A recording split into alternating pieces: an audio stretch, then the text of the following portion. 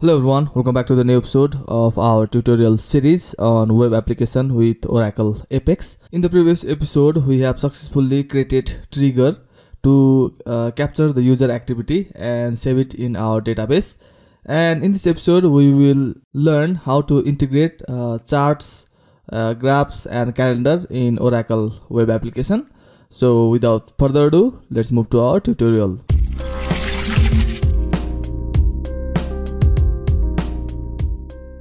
So let's go to our app builder. So i'll go to app builder and inside that let's open our application which is online store. So just click on your app and here you can either create a new page or you can add on existing page. So if you want to create a new page then click on create page and from here you can select either chart or dashboard.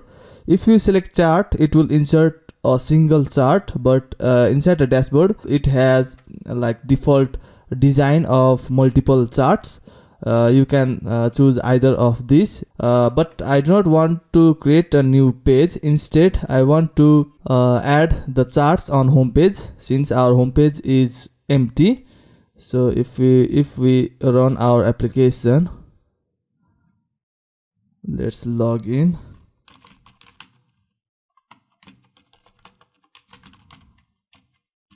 come and so this is my uh, credential here in our homepage we have nothing. We don't have anything. So i want to display uh, some summary charts in our homepage like uh, products which are low on stocks and the actions like a logs action. We will display the chart based on this log. And another thing which ca we can display is calendar at the bottom. So let's add two charts and one calendar. So i will add on home page. So let's go to our home page. And here we will add uh, charts. So as soon as you click on that page you will have this page. This is the page. And we need to add charts in this section which is content body. So if you go down you can see chart. So just drag chart inside content body. Until you see a dark yellow color you just drop in that area. And here here is our chart. So let's click on this title. So i'll just click this this new and let's give its name. So here is title on the right side. Under identification here is title. So let's uh, give its title as low stocks because here we will be displaying products that are low on stocks. So low stocks and click on attributes. And here we can select the type of chart like bar graph or pie chart or etc but uh, for this one we will select bar graph. And here we have errors so we need to fix that. So just click on that. And here in type so here you have source local lo location local database and type is table or view. Instead uh, we will use uh, sql query to generate chart. So select sql query from the drop down and here you will need to write sql query. Uh, if you have like accessed uh, my course on database for beginners then there we have talked about aggregate functions like sum count uh, etc and other uh, conditional statement like where and sorting and filtering etc uh, so there we have already talked about discuss about sql query but if you know the sql query then you can also write it here. And but uh, for this tutorial i will be using uh, its query builder of oracle apex. So let's click on this icon. And here you have a icon like a hammer. This is query builder. And here just click on this. And so there this is our table. We want to display uh, log data. So select the tbl logs. So we have table logs and based on the, these columns we will generate sql query. So we want to count uh, tbl logs and action and group by action. So we will be counting log id like how many insert how many update and how many delete action. And we also need to uh, group those count by action. So we need to uh, select these two columns log id and action and we are like counting the log id so there can be uh, hundreds or thousands of logs but we need to uh, categorize or group those logs based on their action like insert update or delete. So we will be counting log id and group by action so let's uh, use the checkbox and function. So this is log id and we are counting log id and we are group by grouping by action. So this is group by action and count log id so let's see the sql query. So this is the sql query. Select count log id log id of table logs as log id and we are also displaying action of table logs as action and from tbl logs and group by tbl logs action. So let's see the result. So this is the result. One up one delete one insert and one update. So this is the query. So let's uh, click on run and let's click on return. So this is the query. It automatically generated for us. Now we can use this query to generate chart. So let's click on ok so the generated query is automatically inserted in this section sql query. Now we can give label and value. So the label will be action. So we need to display the name like insert update and delete which is group by action and value is log id so that's it. We can save it and then run it. So let's run it and it will be displayed on our home page so low stocks sorry low stocks it it's it was supposed to be low stocks but we did for so this is not low stock this is log log table and it needs to be pie chart. We we were trying to uh, get it as a pie chart. So let's change it. We can change it easily with uh, without writing any code. So in our series or in attributes we can uh, change it change its type from type uh, bar to pie chart. And then we can change its name. So click on low stocks and change its name to user actions. User actions. So this is it. And you can click on save it save button and run it. So with these simple changes it can change its type. Like delete insert and update. Let's uh, add another log. So i'll go to products and try to do something. Let's uh, update it.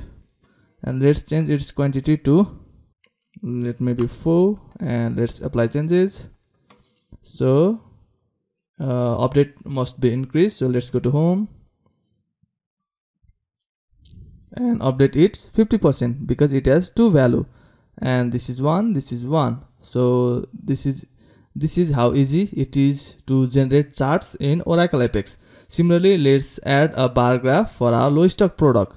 So i'll go here in our page and we have user actions here. And on the side of user action we need to add bar graph for our low stock product. So i'll drag and drop chart on the right side of this user action. If you add just on the left side I, I, missed it. It was uh, on the left side. So I want to add on the left side. You can either add on right side or you can add on left side. But for now I will add it on left side.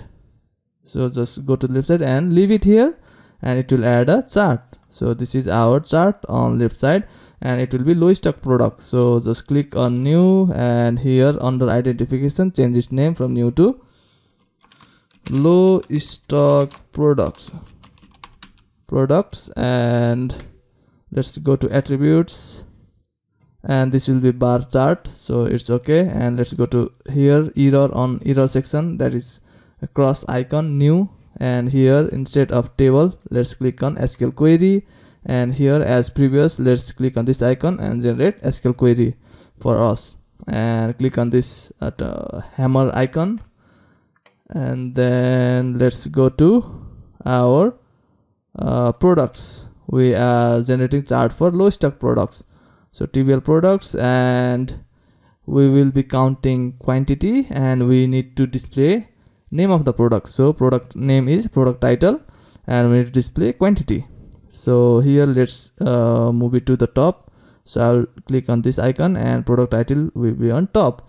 And here the query is simple it, is select all or select product title from tbl underscore product where quantity is less than 5 so I, I will use a where condition and here is the in condition section we you need you can add condition here. So this is where section. So here i will add quantity is less than 5 if the quantity is less than 5 then it will be known as uh, low stock product. So let's see the let's see the sql query first. So as i uh, told earlier select product title as product title and quantity as quantity from tbl product where tbl product uh, quantity is less than 5 so this is the query. So let's see the result. And here we have uh, three products which has quantity less than 5 motorola has 4 pizza 2 burger 3 so that's it. Let's use this query in our for our bar chart. So i'll click on return and here's the query. Let's click on ok and we have uh, inserted the query or generated the query uh, for our bar chart. Let's select the label as uh, product title and value will be quantity. So that's it. This is it. This is how easy to add a chart. Let's save it and then we can run the application. We can run the application. And here we have low stock products as a bar chart motorola phone as 4 pizza is 2 and burger is 3 and here we have user actions as a pie chart. So this is how easy it is to integrate uh, bar graph and charts in oracle apex web application so let's add a calendar as well in our application. So i'll go to page designer again and i want to add a calendar under these two charts. So here you have a calendar and let's drag and drop under this. And in calendar we will be uh, displaying products and their expiry date.